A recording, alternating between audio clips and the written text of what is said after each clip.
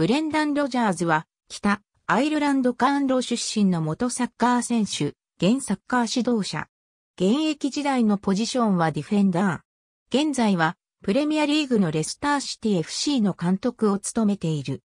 18歳まで北アイルランドのバリーメナユナイテッド FC でプレーし、1990年にイングランドのレディング FC に移籍したが、負傷のために20歳で選手生活の断念を余儀なくされた。そのままレディングのユースチームコーチに就任し、2006年にはリザーブチーム監督に昇格した。2008年11月、ワトフォード FC のトップチーム監督に就任すると、2009年6月にはフルスレディングのトップチーム監督就任オファーを受け入れたが、不満の残る結果に終わり、同年12月には両者合意の上で契約を解除した。2010年7月、スウォンジーシティ AFC 監督に就任し、2010から11シーズンの昇格プレーオフを制して、プレミアリーグ昇格に導いた。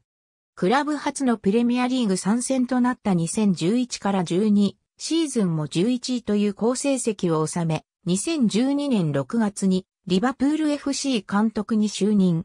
最高が2013から2014シーズンのリーグ2位を記録した。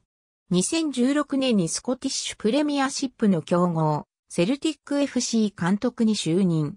2016から17、2017から18シーズンにてリーグ戦を含む国内3冠を2年連続達成。シーズン途中の2019年2月からプレミアリーグに復帰し、レスターシティ FC の指揮を取る。5人兄弟の長男として、北アイルランドのカーンローに生まれた。バリーメナにあるセントパトリックカレッジで学び、13歳でサッカーを始めるまでは、カーンローのチームでゲイリックフットボールやハーリングなどをプレーした。スコットランドのセルティック FC のサポーターであった。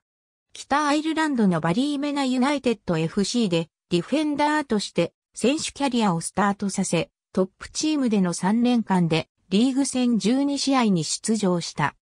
18歳の時にイングランドのレディング FC と契約し、リザーブチームでプレーしたが、遺伝的な膝関節症のために20歳で選手生活に終止符を打った。ワトフォードレディングとチェルシー FC のリザーブチームで監督を務めた後、2008年11月24日、フットボールリーグチャンピオンシップのワトフォード FC のトップチーム監督に就任した。ワトフォードはリーグ戦最初の10試合で2勝しか挙げられず、2009年1月にはフットボールリーグ1降格圏内に位置していたが、チーム状態は劇的に改善し、順位表注意の13位に導くことができた。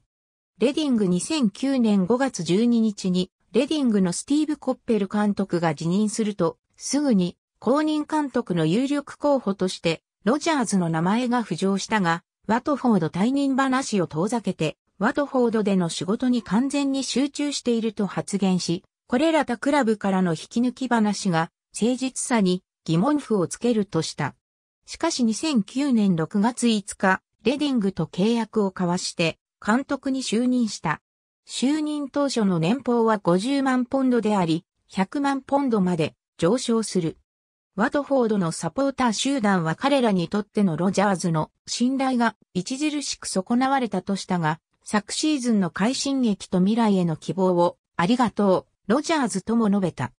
8月11日、フットボールリーグカップ1回戦で、フットボールリーグ2のバートンアルビオン FC と対戦し、レディングの監督としての初勝利を挙げた。シーズン序盤は好調だったが、その後は失望の結果が続き、12月16日に双方合意の上でクラブとの契約を解除した。スウォンジーシティスウォンジー監督時代2010年7月16日、フットボールリーグチャンピオンシップのスウォンジーシティ AFC 監督に就任した。勝利を重ねる順調な滑り出しを見せ、6試合で5勝を挙げた2011年2月には月間最優秀監督賞を受賞した。4月25日にリバティスタジアムで行われたイップスウィッチタウン FC 戦は4から1で圧倒し、昇格プレーオフ出場権を確定させた。プレーオフ準決勝では、ノッティンガムフォレスト FC 戦に勝利し、フルスレディングとの決勝に駒を進めた。5月30日、ウェンブリーで行われた決勝では、スコット・シンクレアのハットトリックなどで4から2と勝利し、ウェールズのクラブとして初のプレミアリーグ昇格を決めた。2011年9月17日、リバティスタジアムで行われたウェストブロムウィッチ、アルビオン FC 戦でプレミアリーグ初勝利を挙げた。降格の有力候補というシーズン前の予想に反して、堂々としたシーズンを送り、リバプール FC 戦、ニューカッスルユナイテッド FC 戦、トッテナムホットスパー FC 戦、チェルシー FC 戦などで勝ち点を獲得して、常にプレミアリーグ残留圏内を維持し続けた。2012年1月のアストンビラ FC 戦で2011から12シーズンのアウェー戦初勝利を飾ると、同月のアーセナル FC 戦はホームで3から2と勝利し、さらにアウェイのチェルシー戦でも1の1で勝ち点を持ち帰った。この結果、プレミアリーグの月間最優秀監督賞を初受賞した。2月には、クラブと新たに3年半の契約を交わし、契約期間を2015年7月までとした。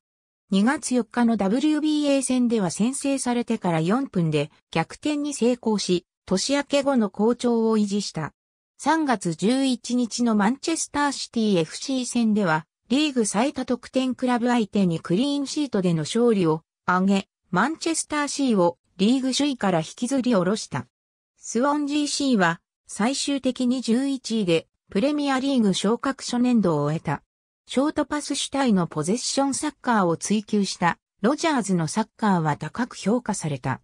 リバプールリバプール監督時代2012年6月1日、2週間前に退任したケニー・ダルグリッシュ監督の後任として、リバプール FC 監督に就任することが明らかとなった。同日に行われた就任記者会見では、同クラブのジョン・ヘンリーオーナーが、ブレンダン・ロジャーズのリバプール監督就任は、ピッチ内外で、サポーターが興奮できるようなクラブを築くための最も重要なステップの一つであると述べた。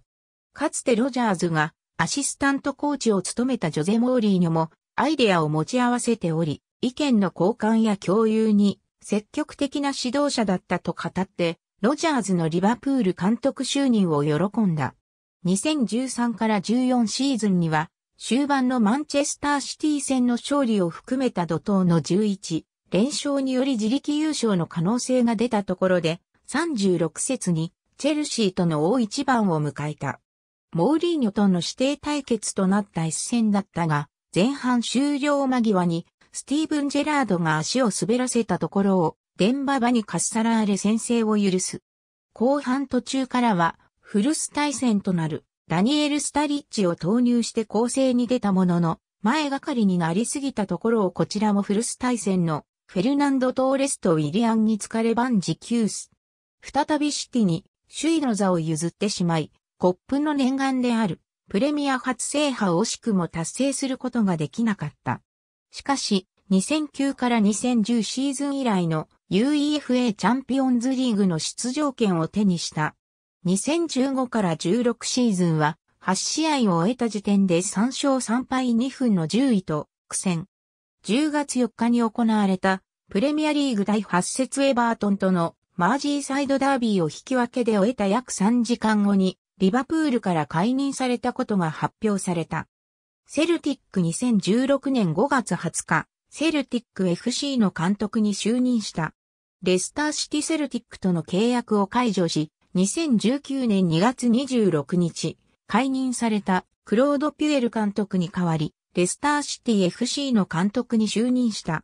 開幕から好調を維持し、チャンピオンズリーグ出場圏内に長い間止まっていたが、新型コロナウイルスの影響での中断を経ての再開後は調子を落とし、最終節で出場権を争うマンチェスターユナイテッド FC との直接対決で敗れ、出場権を逃し、UEFA ヨーロッパリーグの出場権を得るに止まった。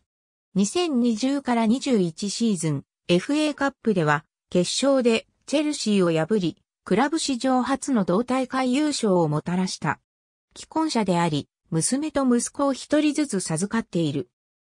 1993年、ブレンダンの20歳の誕生日に、長男のアントン・ロジャーズが生まれた。彼は、レディング FC の下部組織や、チェルシー FC の下部組織などに在籍し、さらに、ブライトンホーブ・アルビオン FC などでも、プレーしている。娘はスペイン語を話せ、イタリア語を学んでいる。2010年には母親を亡くし、2011年9月10日には、癌のために父親を亡くしている。2011年6月、ロジャーズは、マリエ・キュリー・キャンサー・ケアという事前組織が行った事前目的でキリマンジャロに登場するフットボールリーグのチームに加わった。このイベントには、ワトフォード FC の監督などを務めたアイディ・ブースロイドなども参加した。バックロジャーズという雑誌キャラクターに名前が似ており、バックロジャーズというニックネームがある。スウォンジーシティ AFC セルティック FC、レスターシティ FC。ありがとうございます。